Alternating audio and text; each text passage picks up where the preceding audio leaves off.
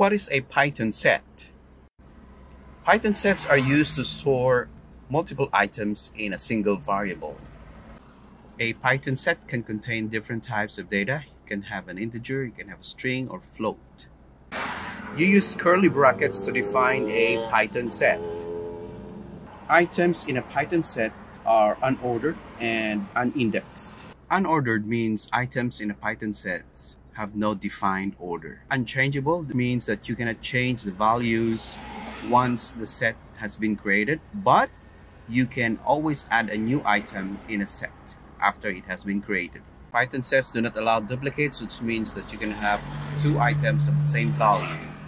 If you insist of having duplicate values in a set, Python set will ignore duplicate values. Duplicates are not allowed, which means that you cannot have two items in the same set with